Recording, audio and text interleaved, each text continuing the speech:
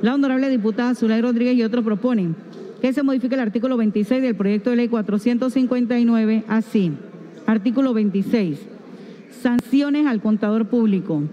El contador público que contravenga la presente ley, las normas del Código de Ética Profesional o las disposiciones del Código de Comercio y otras leyes relacionadas con la profesión, se hará acreedor a las sanciones correspondientes, las cuales serán impuestas por la Junta Técnica de Contabilidad de la siguiente manera. Amonestación verbal, amonestación escrita, que consiste en una representación escrita que se hace a la persona como reprensión, dejando constancia en su expediente. C. Suspensión temporal de la licencia y cancelación de la licencia. Estas sanciones serán impuestas independientemente de las multas a que haya lugar y sin perjuicio de las sanciones correspondientes de conformidad con la ley penal.